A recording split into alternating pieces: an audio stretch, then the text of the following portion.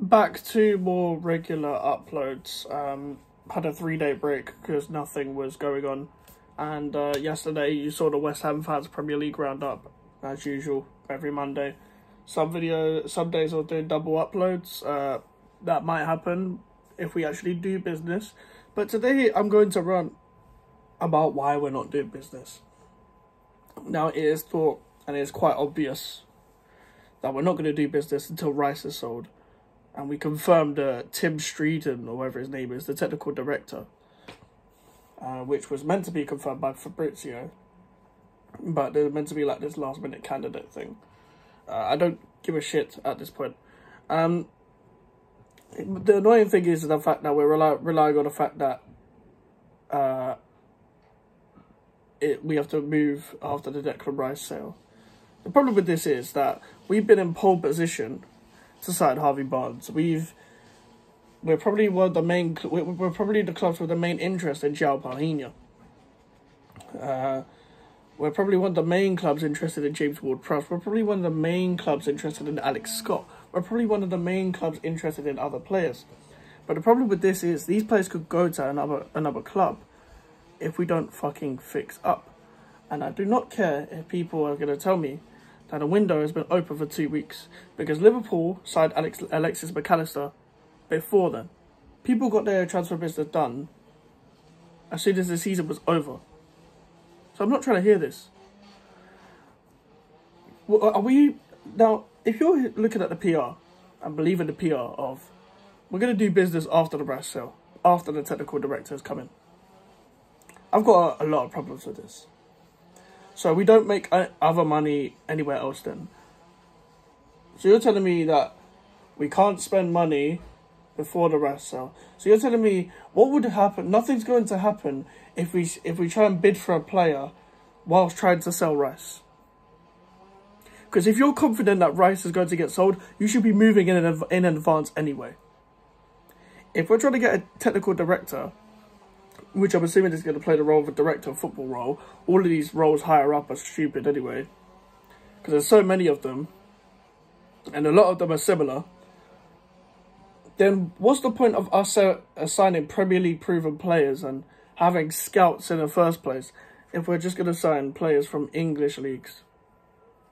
We don't need scouting now, do we? David Moyes goes to watch championship games. They're Premier League proven players. Like some of these players that we're in for, the Harvey Barneses, the James Ward-Prowses. What's the point? Like, come on. Like, who believes this? Who actually believes this, guys? Who believes this? Like, and there's no excuses for this. We had a problem last year with our signings not having a pre-season. We're not going to have a signing in pre-season. Unless we move quick because in my opinion, I was happy with the way we were moving last last year with the transfers. Now, yeah, Paqueta, Cornet, Kehrer, and was signed just after pre-season. Fair enough. Again, got injured. He could have had a pre-season. Uh, and we did suffer with our players not having a pre-season. And Emerson was signed while we were playing when we were playing games as well.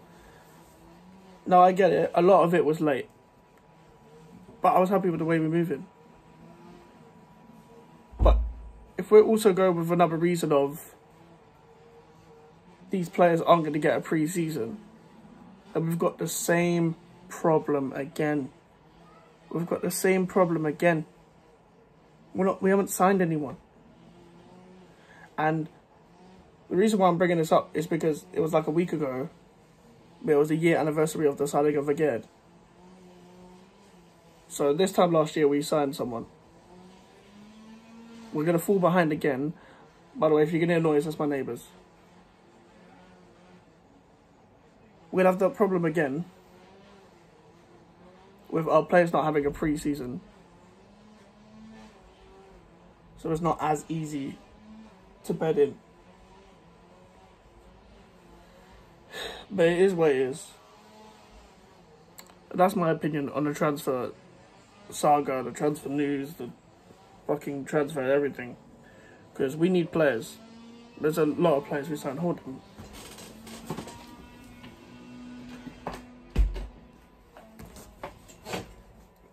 Sometimes people just choose to make noise and not sh shutting the fuck up sometimes.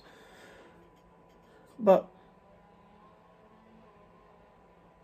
we need quite a few players. And we were promised, well, not promised, but it's said to be six players in this transfer window. And I know a lot of clubs have only made one signing and no signings, but I don't care about other clubs. We need to be signing players. We need to be moving ahead of other clubs. Get your business done early. Early. Be ahead of these teams. We need to be back up there for Europe. We need to prepare for Declan Rice's departure. We need to integrate more players into a team that hasn't really been fully together for that long. There's been a core of the players that were here for a couple of years ago, but there's a lot of new players now, and we're going to be buying more new players. So this will be a problem. This is not going to be a perfect season. So please, can we get a fucking move on? Get a move on. Hurry up. Talk to these clubs about the Rice deal. Hurry up. Like, do something, please. You're telling me if we spend the 25, the rumored 25 million on Alex Scott, it's going to fuck up our season in terms of FFP? People are going to sell Rice anyway. We need players in positions like centre back.